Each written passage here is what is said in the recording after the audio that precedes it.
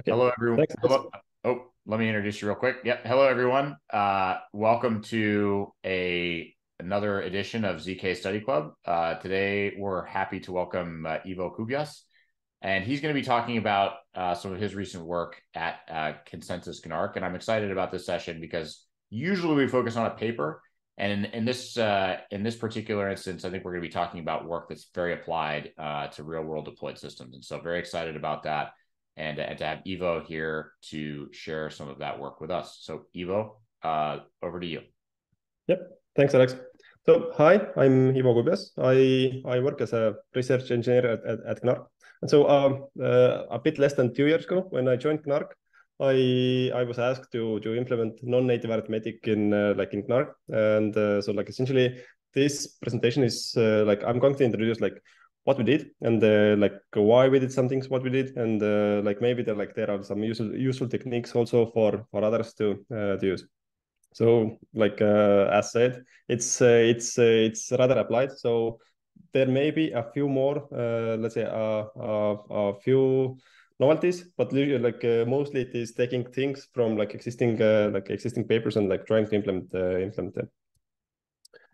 So so when we like when we are talking about snarks uh, so uh, like usually like usually we work over uh, some let's say pairing friendly uh, elliptic curve. And uh, like uh, and the operations are defined on on the scalar field like of the of the curve. So meaning that so any kind of arithmetic what we do like it uh, uh, like it's done in the, in the field. And so we like if you do the multiplication like if it overflows let's say the the, the scalar field then like uh, then we well, then we like take the uh, then we reduce it by the let's say the, the native field. And uh, like we get the we get we get the uh, result. So we have to define let's say the the circuit as operations on on this native field uh, and uh, like after we have defined the circuit, so uh, like we usually like we arithmeticize the circuit like into like some kind of uh, representation. At some point, uh, we turn let's say this representation into some let's say some some polynomials, and then what the prover has to do, the prover has to show that let's say some relations between like these polynomials um, they hold. So for example, like if we multiply the polynomials, then like we get the resulting polynomial and uh, mm, and uh, yeah, this is it. So uh, so like let's say like if the circuits are big, then uh, so if the circuits are big, then it also means that the like the, that the polynomials themselves are are are quite big. So the polynomials are like are of degree like uh, they they may be of degree like several several millions. Uh, and so it uh, like it would be like really infe- like infeasible like the, for the prover to send uh, let's say the, the whole poly- polynomial over to the verifier uh, like to verify that uh, let's say this uh, this relation holds so we use something called let's say polynomial commitment schemes. And in that case what the prover does is that instead of sending over the polynomials the prover just sends the commitments to these polynomials and then the verifier can ask please like please evaluate this polynomial at some particular point and send me send me the result and like if we have this uh, polynomial commitment scheme, uh, then like we can do it like very efficiently. And uh, like especially like if we work in this uh, something called pairing friendly uh, elliptic curve group then uh, then we can have like a very efficient polynomial polynomial commitment scheme. So like essentially the opening is is, is a single group element. And this also makes like the, the snarks like really really really efficient or let's say it makes the verifier work like really efficient but it uh, we we are we are still uh, like we are still left like with the problem that uh, let's say the prover has to compute let's say the re relations between these polynomials. So uh, like if you have let's say a polynomial of degree 1 million uh, another polynomial of degree 1 million and if the prover has to compute let's say the product of these polynom uh, polynomials then if you would do it like natively or like naively like how uh, then we can apply, let's say, this uh, school book um, like multiplication. We take the coefficient, or let's say the pairs of uh, pairs of coefficients. We multiply them together, and then we take, uh, let's say, some particular uh, products. We add them together, and then we get, let's say, the coefficients of of the product polynomial and uh, like it's like for big polynomials it is infeasible so like if you have poly uh, polynomials of degree 1 million then like it would be like 1 million times 1 million uh, like uh, uh, multiplications. And it's like it's just like Im like impossible to do.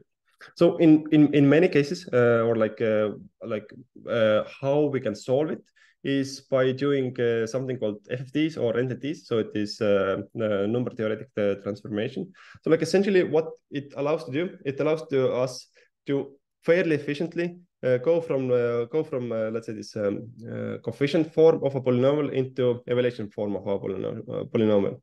And if we are in a evaluation form of a polynomial, then we can just uh, multiply the evaluations together. And then we do the inverse NTT. And uh, then we get back, uh, let's say, the product polynomial in coefficient form. And uh, yeah, very good. So the, the so the brewer work is also um, uh, small, also. Uh, like to be able to do that, uh, we need something called like high two-adicity. So meaning that we like we need to have like some very high degree of unity so so that we would be able to do the NTT so uh, we have additional restriction on this uh, elliptic curve uh, what we're working on so that it has to have like this uh, too high adicity we also have one more let's say restriction on the elliptic curves uh, what we want to use. So they have to be secure. So they have to be sufficiently secure that the discrete log logarithm problem in, in the curve itself and let's say in the let's say the the g2 or like let's say the the the, the uh, paired uh, group is also like um, uh, is difficult and also like in the in the target group. So essentially we have let's say uh, three restriction on this elliptic curve group. So it has to be pairing friendly first. Secondly it has to have like uh, too high um, uh, high two-adicity. And finally it has to be it has to be secure luckily, uh, like luckily for Snarks, uh, there are such uh, elliptic curve groups, and uh, mm, so we we are safe. We can do we can do Snarks. But uh, if we want to implement, let's say, if we want to implement uh, some practical applications, for example, if you want to verify ECDS signatures, or if we want to verify RSA signatures, or, or if we want to do uh, for example, BLS signatures, or we want to do like uh, if you want to check uh, uh uh, some pairing, uh, like pairing pairings inside the inside the circuit, then like usually the fields what we are what we are working on in the practical ap applications they differ from let's say the, the, the scalar fields of these like useful elliptic curve groups. So there may be like uh, the, like there may be like very small overlap if we have like uh, some uh, let's say two chains or like let's say chains or cycles of curves uh, in in what cases uh, let's say the the, base field uh, or uh, the, the scalar field of one elliptic curve is a base field of another elliptic curve. So like essentially in that case we like we are able to define a snark in, in like in like in in one group. Uh, we compute the, the proof and then we can like very efficiently verify it in uh, let's say in this outer curve uh, because like essentially all the operations are performed on, on scalar fields and uh, then we can do it like very efficiently but uh, like these use cases are i would say uh, like minor compared to compared to let's say the traditional like cryptography what we want to do what we want to do and so to overcome this problem, uh, we have to do something called non-native arithmetic. So we have to be able to do an uh, arithmetic which is not native to the scalar field of the elliptic curve. And uh, this is what I'm going to explain. Uh, explain. Uh, uh, like there are several ways to do that. So like the, the, the first approach using the Chinese remainder theorem. So uh, it is it is uh, somewhat related to let's say school book uh, multiple precision uh, like integer multiplication and like additionally using like the Chinese remainder theorem like to uh, to to uh, allow for like some let's say checks checks to be done.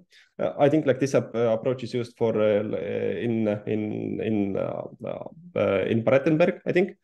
Uh, then uh, like second approach is using like this um, uh, casting out primes or nines approach. I think it, like it was proposed by by Polygon at some point.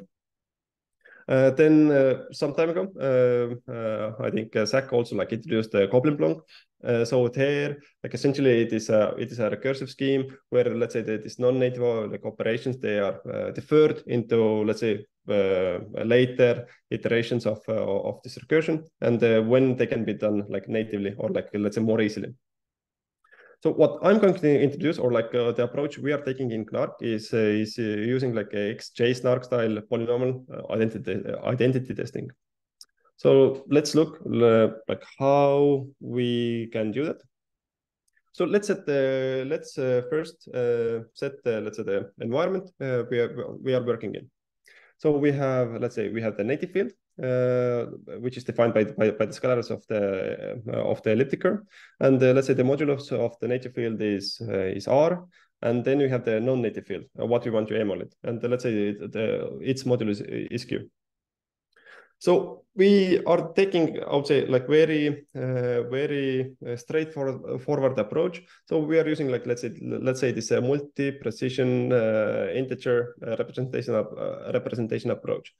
So what we do is that, let's say, like, if we have some like long, let's say, if we have some non-native field element, so we look at at it as an like as an integer, and then like if it is an uh, if it is a, a long integer, uh, then we can split it up uh, like into let's say into smaller limbs. Uh, so for example, limbs of size uh, 64 bits, assuming that they like uh, that these limbs like fit into this into the fit into this native field. But they usually do because like this elliptic curve group, the the fields of of good groups, let's say they, they are usually like 250 five bits uh, long. So we we we fit uh, like nicely, and we also have like so let's say some some spare room for operations when we do this uh, multi-precision precision integer uh, arithmetic. So in that case, uh, so if we split it, split it into limbs, uh, then like we can like let's say from this limb uh, limb representation go back to this uh, let's say inter integer representation by just uh, um, uh, but uh, just uh, recombining, let's say, the, the limbs with the co corresponding coefficients. And so we can like shift the limbs back into right places and we get the, the initial integer. Uh, like illustrate like illustratively like let's say like we have the uh, native field elements and then we have the limb uh, like limbs non-native limbs like in this native elements so addition what we have to do so like if like if in the beginning if we split let's say the non-native element um, uh, into let's say 64-bit limbs or like some fixed uh, fixed, fixed length uh, limbs. Then after some operations, we may happen that let's say the value like we need more bits to represent this value. so for example, like after after addition, we need one more bit to represent the result of of addition. So additionally uh, of keeping uh, track of the uh, of the uh, like of the limbs. We also need to keep track of the overflow of uh, like every limb or like actually like if the if we do uh, if we do the opera operations like limb wise uh, and if we like group uh, multiple limbs then like we can use the same overflow for uh, for different limbs. Okay so let's let's look at the arithmetic how we can do multiplication arithmetic. Mm. So let's, uh, for now, uh, we just do integer arithmetic. So we do not uh, uh we do not consider uh, modular modular reductions uh, for now, because like, I like we can do it because so if we do inter like integer arithmetic, so at some point we can reduce, let's say this integer like which overflows the non-native modulus, we can reduce it back to to to the non-native field and uh, like essentially we can amortize this uh, this uh, this cost of modular reduction um, and it may save us something so for the for addition, addition is uh, is simple. So we, what we can do is that uh, like essentially, if we have let's say uh, two multi-precision integers, then we just do addition limbwise, and and that's it. So the result uh, the limbs of the result they're just like uh, let's say the, the, the, sums of the of of the inputs and that's it. Uh, for the overflow uh, like as i said before uh, the overflow is just uh, one more what was the like maximum overflow of, of, like of the inputs. So like this is easy case and hopefully like everything else is also going to be easy. So let's let's look at the subtraction uh, let's try to have like a very similar similar approach. So we take uh, the multi-precision integer, uh, but then we subtract limb by limb. And now we encounter, I would say, the first problem, or uh, yeah, the first problem. So like essentially the problem is that uh, let's say if uh, the value we are subtracting, like if the limb is bigger than the value we are subtracting from. So like this means that we get underflow in the native field, and this like this messes uh, like everything up because like our assumption is that the limbs are of uh, some particular like uh, particular width, and if we like if we underflow, then this assumption doesn't hold anymore. But uh, luckily, we can uh, we can somewhat easily overcome this, this this problem. So like essentially, what we have to do, we have to add we have to add uh, something what I at least call uh, subtraction padding. So like this is uh, uh like particularly uh, constructed value, uh, which is a multiple of non-native field, and like and it is constructed in a way that every limb is strictly larger than the value we are subtracting. So like this means that we we we do not like underflow the, the native field. So instead of uh, instead of uh, subtraction, um, we add the subtraction padding and then we do the subtraction uh, limb by limb, and uh, then all is good. Now uh, let's uh, let's look at the multiplication. Like um, similarly as for polynomial multiplication, we can like we can also do let's say an some quite na naive uh, multi-precision uh, integer, like integer multiplication. Uh, how it works is that like essentially we have inputs A and B, which consists of limbs, and then we have to compute the limbs of the like of the product, and to, to compute the limbs of the product, we just have to take the corresponding limbs where the indices add uh, add together to the in, uh, index of the limb uh, we are we are computing and then we like uh, then we take, we compute the product we add them together and then we get uh, let's say the limb of the uh, uh, of the product. Like we can see that if the number of let's say if the number of limbs of the inputs is n uh, then the number of limbs uh, for the result is like is 2n and to compute every limb like we have to do up to like um, um, up to n multiplications so this means that uh, like essentially in circuit complexity of uh, multiplication, like naively, will be n squared. Uh, uh like it may or it may not not be a problem if if uh, n is small, but let's like let's try to improve this approach, like specifically for the cases where the field what we want to emulate it is big. So let's say like if uh, if the field we want to emulate is, uh, for example, several thousand bits, and uh, if we split it into like 64 bit limbs, then like it means that the the, uh, the number of limbs is like it is uh, it's many, and uh, like this the quadratic complexity there, like it like it's it's, it's really bad. So the, there was a really nice observation. Right, so just, just to clarify your uh, Ivo, so that so n here in terms of the you're talking about complexity is is referencing the number of limbs. Is that yes? Okay, cool. Just want yes. to make sure I got it. Um. So what the the authors of xJsnark uh, paper uh, like they observed is that uh, like uh, we can also uh, have let's say a polynomial representation of uh, like of a multi-precision integer and so like essentially we have a polynomial where the coefficients are actually the limbs. And like in that case, like if, if we evaluate this polynomial at the, like at the basis, at the basis, uh, let's say that it is uh, uh, multi-precision basis, then we get back the, the uh, like initial integer. But uh, for now, we like we are just in like interested in, like in the polynomial uh, itself.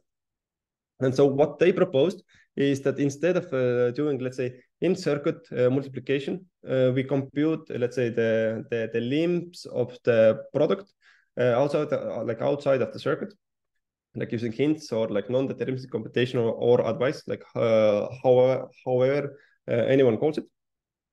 And then we have to show, then we have to show that, let's say, the product of the polynomials uh, uh, corresponds to the product of uh, corresponds like to the resulting polynomial or the polynomial which represents the product of of the input integers.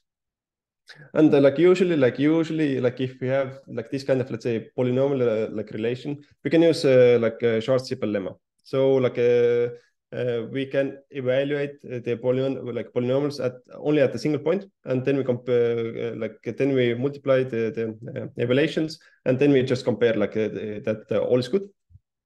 But we really like I would say by default we really cannot do that because uh, we don't have randomness in circuit. Uh, and that's like, and, uh, but, uh, and, and that's a problem.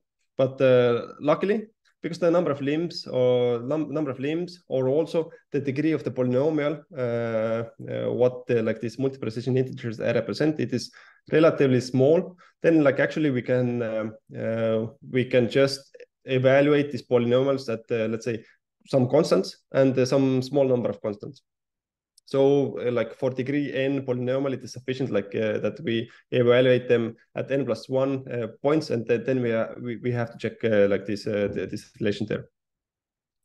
Uh, and what is like really nice in in R1CS, so is that like actually um, a multiplication by constant, it is kind of free, so it doesn't add, let's say, it doesn't add complexity to the to, to the prover, and also additions are free.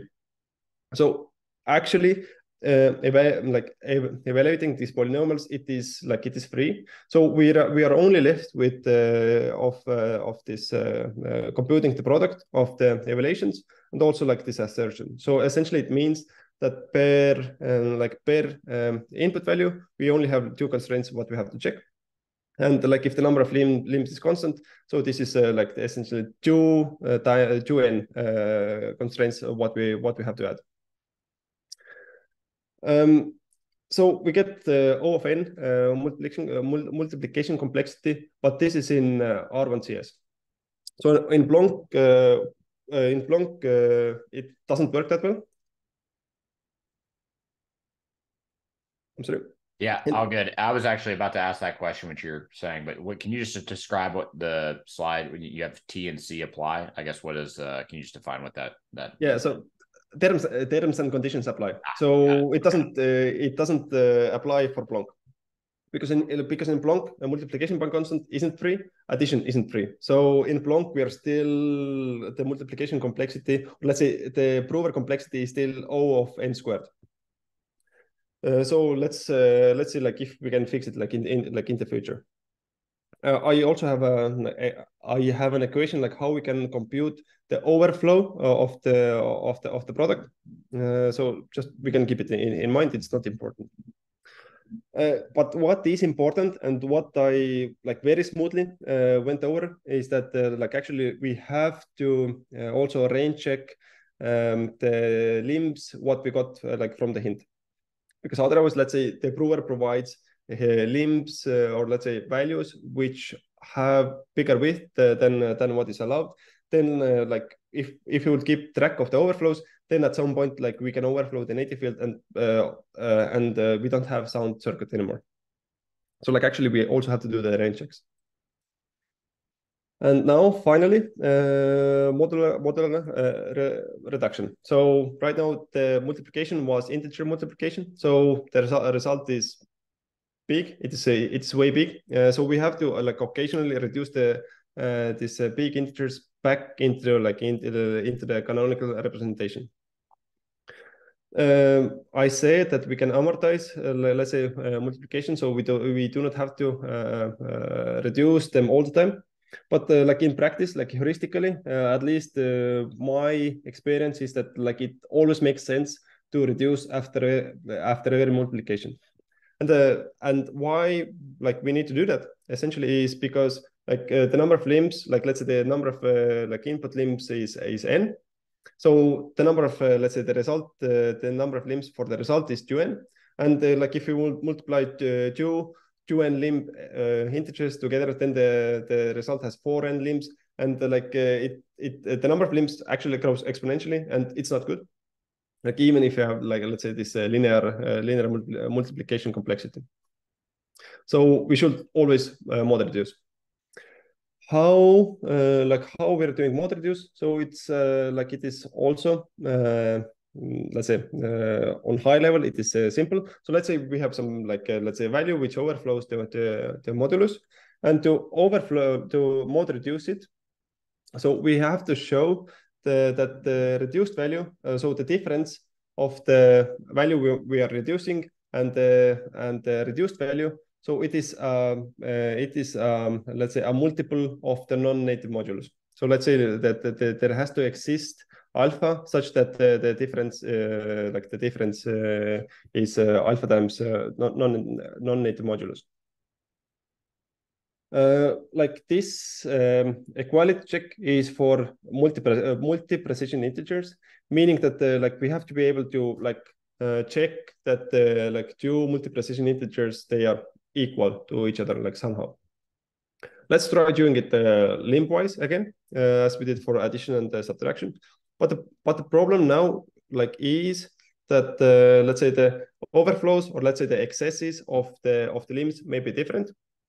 But like actually like this is something what we can solve quite uh, like in a straightforward manner. So we can carry uh, the excess excess of a limb which has let's say which is wider to to the next limb. So we just partition the wider limbs uh, so that the, the results would have the, the, the, the, same width. And we carry the excess over to the next limb and so, so and so on. And then we can do um, uh, element-wise comparison.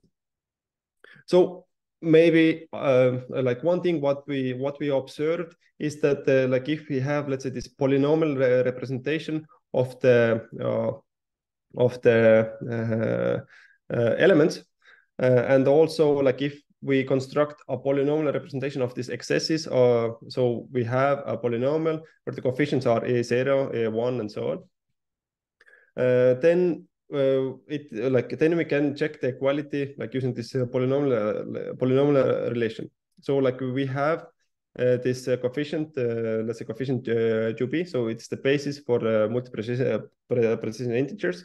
So like essentially this multiplication by this constant, like it just shifts this this value, like let's say to the end of the like to the top bit of uh, like of the limb, and like multiplication by x, like it just moves the excess uh, to uh, um, to the next limb.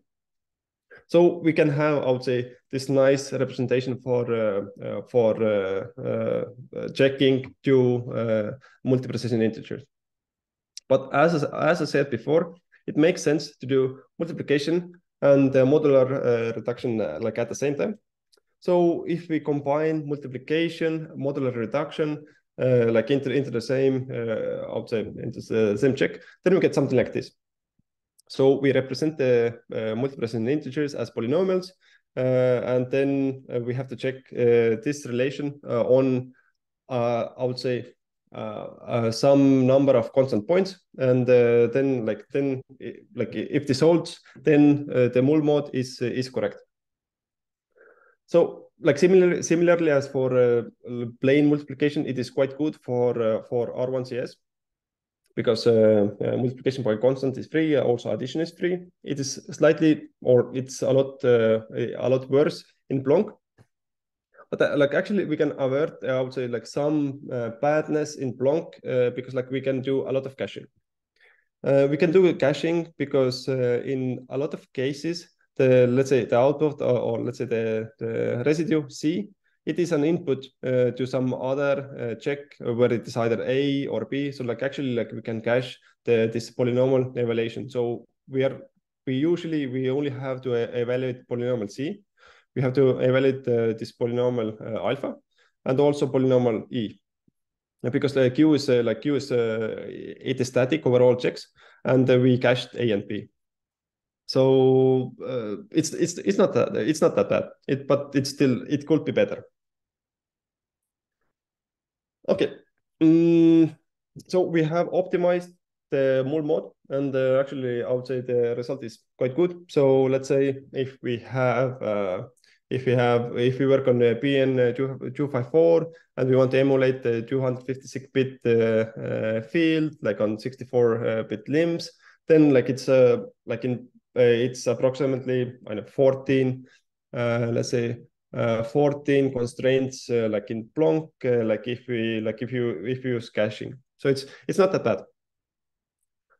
Uh, but uh, like we have to range check. So we got the values or let's say the limbs of uh, of the polynomial C, alpha, and E like from from hint. So we need to range check them. And actually, like if we like if you do naive range checking, then this means that like we have to range check or we have to uh, compose uh, like uh, element into bits. We have to show that every bit is actually a bit, uh, like using this uh, this uh, this check. And then we have to show that like these bits add back together like to this value, like what we what we obtained like from the hint and like in practice like this is like this is actually like where like most of the cost is so it doesn't it uh, like uh, in like in a big picture it doesn't like really make sense to optimize you know a few constraints like in in in mul mode when like in the end uh, for range checks we have to do 600 700 uh, uh, checks like to ensure that what we what we received from like from from the hints is, is correct so let's let's try to start optimizing the the, the range checks. First, uh, we looked at uh, uh, at at UltraPlonk. So UltraPlonk essentially it is uh, vanilla Plonk with custom gates and Plookup. So uh, what does it mean is that like essentially in UltraPlonk like it's possible to tag some elements what we want to check in the in I would say in the proof system or that the, elements um, let's say the, variables what we had tagged uh, uh, they are in somewhat uh, or or in some lookup table. And the lookup table uh, like uh, what we will construct is essentially a list of all allowed uh, values. So it is from zero to to the mm, to the 16 or to the 64 so whatever is is the width of the of the limits what we want to allow. We didn't take this uh, the, we didn't take this approach uh, because uh, like this approach isn't uh, really uh, good with uh, with Groth 16 um, and for Plonk or so it's not good for Groth 16 like essentially because I wasn't able to figure out like how to make it work with Groth 16 so maybe it's possible. I I, I wasn't able to figure it out. For Plonk it would have worked I think it would have worked nicely. But uh, at least my in my impression was that uh, it uh, it would have integrated let's say the front end. So let's say the like how we write circuits and the backend so how the prover computes the proof uh, like it would have integrated them a bit because like essentially we would have to carry over like let's say the, this information about where, what the variables we are uh, we are range checking like what are the range check values and so on. And uh, so and we didn't want to do that so we want to keep the front end and back end somewhat, uh, I would say, somewhat uh, clearly separated. So, uh, so uh, for example, uh, like this allows to have, let's say, different front ends for Gnark. So, for example, like there is also like Noir front end for Gnark. So it's possible to write circuit in Noir and uh, prove it in, in, in Gnark. And I think it's it's really nice to have like this compatibility. Second approach, uh, what we, we looked into is, is uh, using uh, something called a permutation network. So we looked into arbitrary size Waksman uh, permutation network. And in this approach, uh, what we would have done is that um, uh, like essentially if we have some some variables what we want to range check then we then we fill in the, the values what weren't range checked in the, let's say, in the allowed uh, range. Then we permute all these range checked values into, into order. And then like uh, after the permutation network, if the variables are all in, uh, let's say, in increasing order, then we can add constraint that uh, like every uh, sequential uh, value is either the previous one or uh, one more than the previous one. And then like uh, then if all these uh, uh constraints hold, then it also means that the inputs uh, were also all in uh, let's say in this permitted range. Um, actually, we implemented implemented this approach, but um, it didn't give I would say significant improvement. so it didn't give significant improvement in, in, in the sense of uh, the number of constraints, uh, what we have like in circuit. And also uh, it was quite difficult uh, to compute, uh, let's say, the values of the switches if uh, like every switch in the permutation network either swaps or doesn't swap the, the, the, wires. So it the overhead was quite significant. And so finally, uh, we we uh, thought about like using, let's say, a multi-set uh, multi-set uh, uh, equality check using uh, logarithmic derivative argument. this present result. but for this, like we need like for this we need randomness and like and in this approach so let's say we have a, a, lookup table and in the lookup table we have all the permitted values so they're all values in the in like in the range what we want to range check in so uh, these uh, values in the in the tables are FIs and then we have the histogram so like how many times every value in this table is uh, is queried like these are these let's say um, uh, uh, coefficients, or let's say the, the histogram, K, K, K, KIs. And finally, we have the lookup SJs.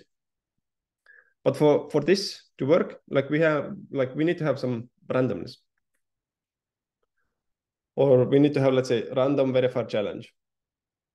And um, like how like how can we solve how can we get a verifier random verifier challenge which depends on some like uh, on some inputs. So very, I would say, a very um, uh, straightforward approach would be to use like Fiat-Shamir and Fiat-Shamir in circuit.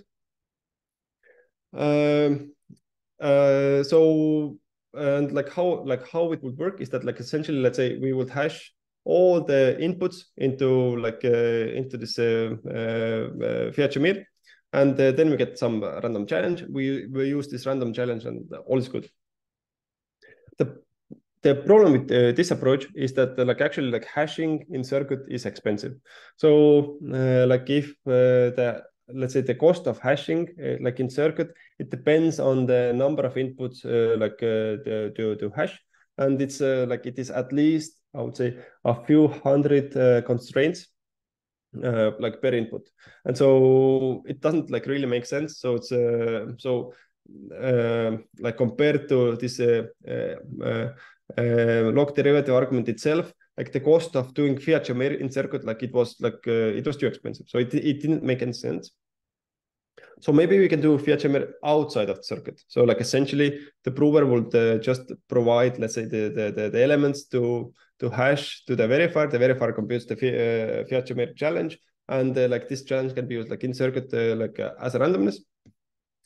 But uh, this puts a very big cost uh, for the verifier and also like uh, it causes uh, it causes uh, privacy loss. So because the prover has to provide all the inputs to the verifier to to to to compute the Fiat-Shamir challenge. And so like in in in for something unrelated, like we, we we were using like the LegoSNARK style commitments, and like actually we uh, we realized that uh, this is something uh, what we can use. So what is LegoSNARK style commit and carry scheme? Like essentially, it is an it is an extension of Groth 16, where it's possible to let's say commit uh, to some values, uh, let's say witness, uh, like witness element values, like and uh, to use this commitment in some other circuit. So essentially, it it allows to modularize uh, different uh, Groth 16 uh, instances and to share some witness values like between let's say these different different modules, modules. Uh, but we what we realized that uh, like actually like this commitment can be used as as let's say this verifier challenge inside the circuit. So LegoSnark, so what is the difference between Groth 16 and uh, and uh, let's say augmented Groth 16 as defined uh, in LegoSnark paper? So like essentially in uh, vanilla Groth 16 we have the proof elements A, A, A B, and C, and uh, they added uh, like ad additional um, elements D and D prime where D is actually like it is very similar to C. So essentially, it's splitting C computation of C like into parts and the, the D prime, uh, this is necessary to to be able to uh, for the prover to show that uh, the prover actually used let's say the um, uh, the proving key or let's say the commitment key uh, for computing this D. Uh, the verifier work, what what, what is different from like from vanilla Groth 16 is essentially um, what one square multiplication, one addition, and one more pairing check. So it's one like uh, the most it costs is one additional pairing check. So the commitment, so like we saw that actually it is a Pedersen uh, vector commitment scheme.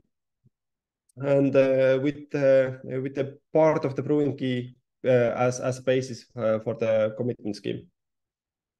Um, and uh, so the security in the paper, as like as I understood, or at least uh, how I uh, how I um, like I'm imagining imagining it is that this like essentially that uh, this let's say this augmented Groth 16 it is very similar to Groth 16 and if uh, if the commitment will be binding then this also means that the, the this uh, the initial Groth 16 instance like uh, it, it would be possible to compute uh, let's say multiple witnesses uh, to a particular let's say circuit instance. So it means that the, the circuit itself wouldn't be sound. So if the circuit is sound if it is well defined then it means that also the commitment itself it is binding. Additionally the prover is not able to uh, let's say predict the uh, the commitment because like the, this uh, this would mean that the prover uh, would be able to solve discrete log. So it is a very good uh, very good uh, I would say um, uh, thing to use for for a challenge in like inside the circuit. The prover does the, work anyway, and it is only a single element what like what what we add to, to the proof. So additionally, what we have to do is that we have to hash uh, this, uh, let's say, group element into, into the scalar field, and uh, then we can use it as, as additional public input. I promised in the description that like this technique I would say on high level also works for Plonk. So not uh, not, not precisely uh, like using this uh, let's say augmented scheme as in Groth 16, but essentially for Plonk, like what we did is that we created a custom gate where we mark some variables to be committed to, and then uh, we represent like these variables as a polynomial uh, uh, and the commitment to it we use as as a random challenge inside the circuit so if we have, let's say, randomness inside the circuit, what can we do? Uh, so uh, first of all, uh, we can extend this uh, single commitment uh, into multiple commitments. Uh, so like in essence, we can compute multiple commitments uh, like inside the like using this um, commitment carry scheme. But we do not really want to do that because like the, this would mean that like every additional commitment what we compute in like in, in the proof system, it uh, requires additional uh, pairing check by the verifier. So we can do we can we can extend the commitment inside the circuit like using caching. We just split the commitment into let's say domain separated uh, like uh, values or we can use it, for example, for folding uh, like inputs, uh, uh, what we are um, like using in the in the lookups. Or we can also like we can construct using this log derivative argument in like in addition to uh, let's say in addition to uh, range checks, we can do like arbitrary uh, table lookups. And like using these table lookups, we can also do let's say Boolean functions. So we we pre-compute the the, the let's say the, the full table of some like Boolean function on let's say 8-bit inputs and we uh, pre-populate this table and then we can instead of doing the computation we just look up the values.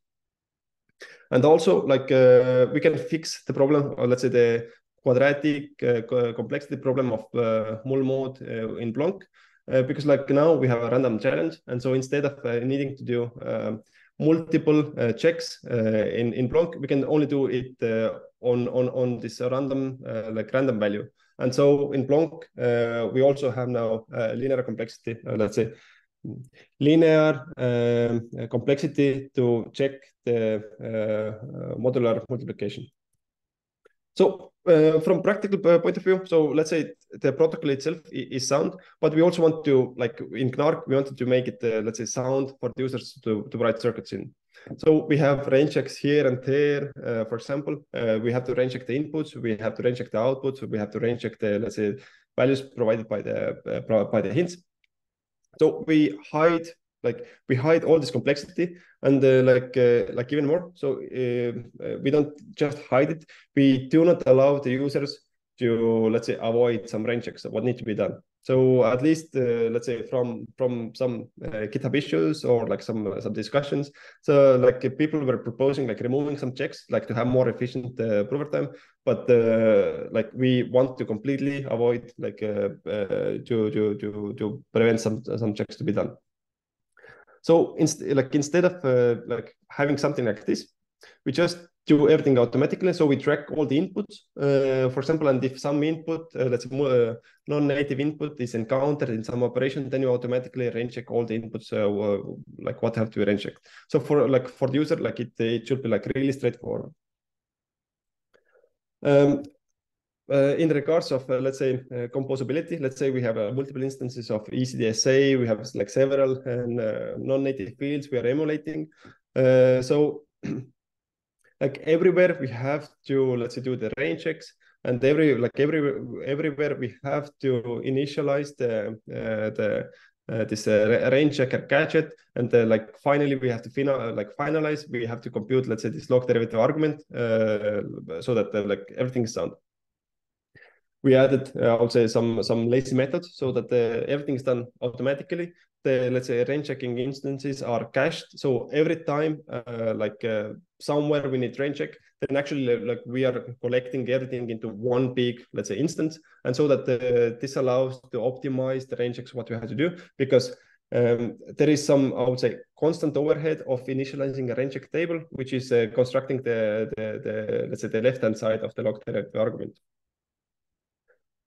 And uh, finally, uh, we also do, let's say, automatic table size computation. So depending on the number of uh, range checks, uh, the sizes, the range check, uh, range checks, uh, we automatically compute like what is the what is the width we are range checking. So like usually like like if we need to range check 64 bits, then like we cannot like we cannot build table of size 64 bits so due to the 64 bits. So like actually we partition like these inputs into let's say into smaller groups.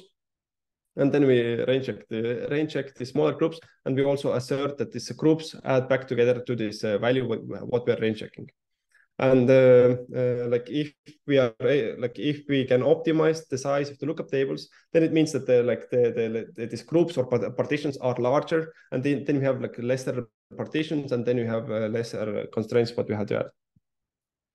So finally um, uh, benchmark wise or like, let's say runtime wise uh, like uh, I think like the, the first thing to keep in mind is that it's it's it's not really it doesn't really make sense to compare the number of constraints because like every I would say like every uh, Snark framework is, is, slightly different and like it, it's it's not possible to have like let's say apples to apples comparison if we just kind of like compare the constraint numbers. So I think I, I think it's like really good uh, like initiatives where um, let's say the where uh, like different snark frameworks are compared to each other like uh, on the same systems on the same uh, same uh, types of circuits on the same uh, same uh, groups and so on. And so that it, it would be so it's possible to like have some kind of like comparison like who like who is good in like in in what aspect.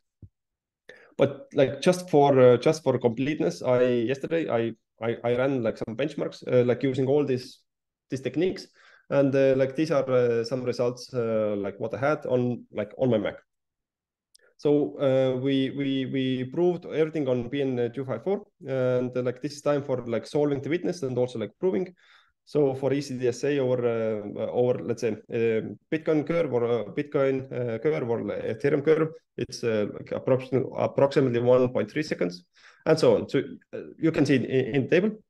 I also I tried running the benchmarks for Plonk, but uh, like when like after the after the second benchmark, I realized that uh, I had like introduced some like uh, let's say memory some some issue in the in the Plonk prover. So like actually like these uh, uh, runtimes they were a bit off, so I didn't complete uh, the, the, the benchmarks. And like hopefully we get we get the the the, the prover fixed soon, and then we can we can also provide the benchmarks for uh, Plonk backend. And that's it. Thanks. Thanks for listening. A quick question. Sorry on this slide. what is the number in parentheses? Uh, so there are a number of constraints. Uh, ah, okay, so that's that constraint number. Gotcha. Okay, but yeah, yeah. Not, okay, cool, awesome, very people, helpful. People like to compare the number of constraints, but uh, yeah, I don't yeah, like. Yeah, yeah. yeah. Uh, I guess it's maybe useful within the context of a single proof system as opposed to like a cross proof systems, maybe. Yeah. Uh, so like it makes it makes kind of sense for R1CS because you know for R1CS you cannot do like a lot of trickery. Uh, it doesn't make any sense for Plonk because like you have custom gates, you have you know whatnot. So it, it doesn't really make for Plonk that much. Awesome. Well, Ivo, this is a great Uh, this is a great presentation. Thank you very much for sharing this. I mean, again, I, I like this because there's a lot of this is very applied in terms of practical problems. I mean, I think we talk a lot about theory uh, in this in this in this group, and that's obviously very important as well. But but application is uh, is equally important. So, and obviously you have Z Prize highlighted here, which is another initiative that I run, and I think Gautam who's on the call, and and you guys worked on a. Uh, I think our team in general submitted a, a very good submission, which I, I don't know how much of that submission was based on this presentation, but it was the winning submission for the mobile MSM prize. And I guess I do want to just mention that for this coming year, we're actually having a uh, signature verification category for ECDSA SecP 256K1 um, to be, you know, for uh, inside of a inside of a Marlin Snark, um, Marlin plus plus. Technically, we have a new a slight tweak to the proof system. Maybe Pratyush can mention some of those tweaks um, if he's interested. But in general, this is very relevant for this year's Z Prize. I think this is one of the things we want to focus on. So hopefully you'll be able to you'll have a chance to apply some of this knowledge in, in that context. Um, I have a bunch of questions, but I'll pause and see if anyone else wants to add a comment, ask a question. The floor is open.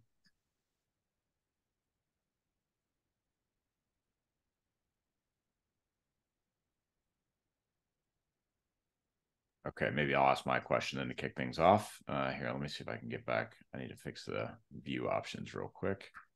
Okay, great. Now we can all just make sure all the all the cameras are in the right spot here. Okay, great. Um, my question was going to be, you, you're talking. Uh, well, is one way to think about this as an optimization problem? I guess one way to think about this is as an optimization problem. And one question that I have is, are, are you really trying? Is the core improvement here about reducing the the number of limbs?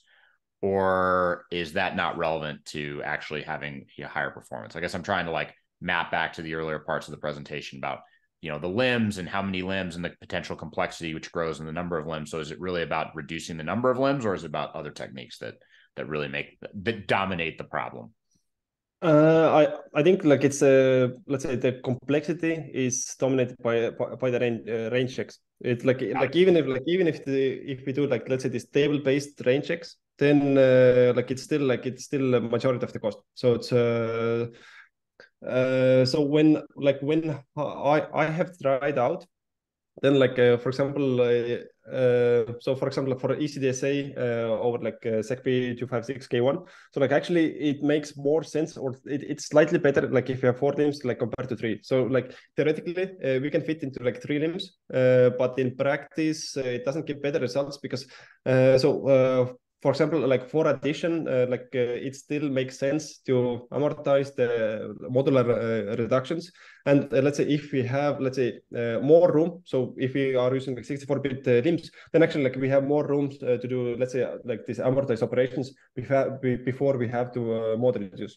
So it is like slightly, slightly, slightly better. Uh, like if you use four limbs than uh, if you're using uh, three limbs, but like there, there is a like a small difference. Gotcha. So it sounds like it's a little more complex, but the range checks is really the dominating factor here. One other question that I have, and I think it's actually kind of answered by this slide of benchmarks, but I was going to ask how, uh, how specific, um, you know, to each non different type of non-native operation is any given implementation here. So I guess like how general are these techniques when applied across all non-native arithmetic operations you could imagine, as opposed to like specifically SecP 256K1? Like, are you, do you imagine like, or I guess I'm, I'm just trying to understand like the level of specificity um, that goes into each one of these implementations? Or is this just kind of a general technique that works across the board? It looks like from these benchmarks that it seems like there is quite a bit of variation depending on the specific arithmetic that you're doing, but I'm curious your thoughts there.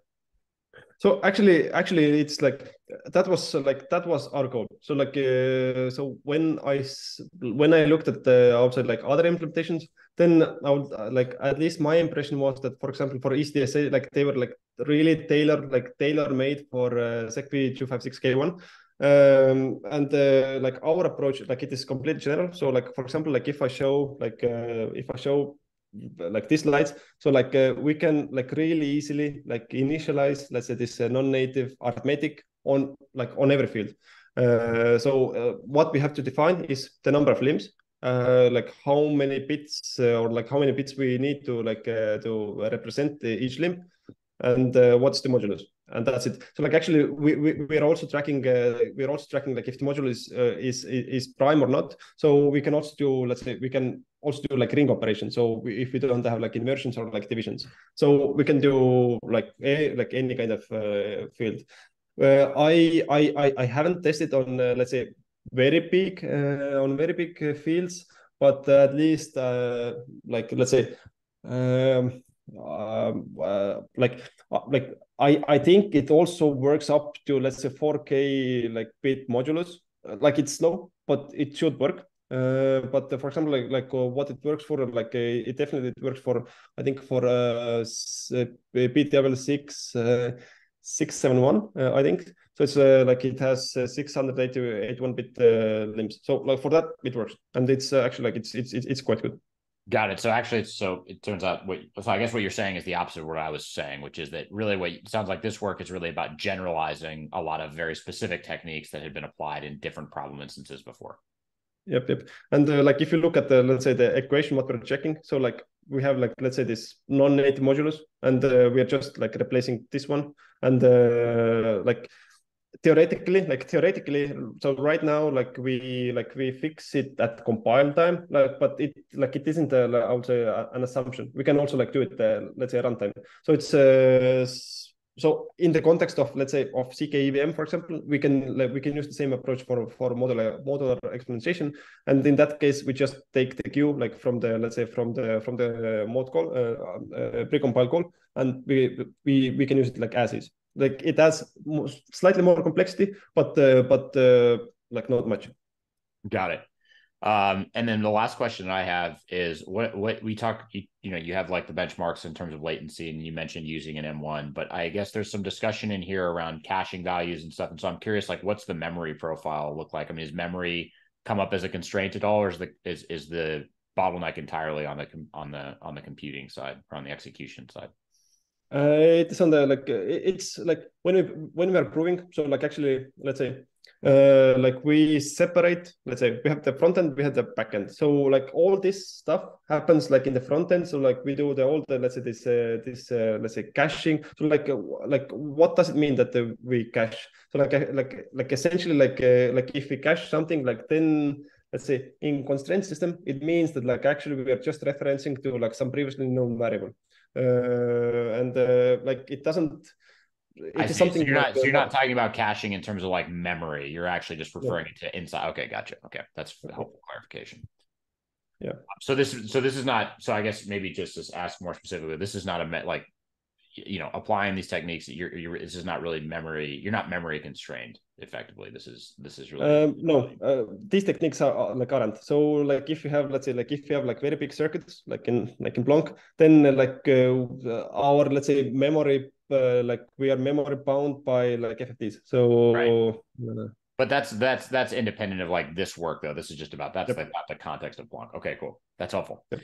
um Awesome. Thank you. This is really super cool stuff. Like I said, I'm excited. I mean, obviously, given, like I mentioned already, my interest in Z Prize, I'm excited to see more work like this come out. And I think it really is going to help. This is like the practical stuff that moves the space forward. So thank you very much for working on this, Gautam. I know you, you probably um, are, are on the call. You probably you know, contributed or at least reviewed some of this too. So thank you. And uh, I guess maybe Gautam, actually, since I just referenced you and you're here, do you have any uh, anything else to add uh, to the presentation? Any any just personal comments about this work. Uh, if you'd like to add anything, feel free. Nope, can't turn on his mic. Classic. Um, well, anyway, uh, it is important to note that I guess maybe for folks who are going to watch this YouTube video later, Gautam Botrel, also on the Consensys Gnark team, um, you know, and and a great contributor to uh, to Z Prize as I mentioned already. Uh, before we conclude, does anyone else have any questions, comments? Oh, I think there's some chat. Oh, all right. Now it's just Gautam saying hi. Okay. Well, Ivo, thank you very much. This is awesome. Um, uh, thank you for coming and presenting at today's ZK Study Club. And uh, I guess, do you have any parting words before we conclude? Or actually, any, maybe, maybe actually, maybe actually, I'll just turn this into a final question. Um, where, where are the horizons from here? What's the next step? How do we get this down to being even more performant or, or make this, this even more performant? Mm, work in progress. yeah, you know, it's a right. trial, trial and trial and error. Uh, there aren't uh, like definite answers. So it's like we are we're trying out like five different things like uh, like at the same time because you know uh, most of things doesn't work. Fair enough.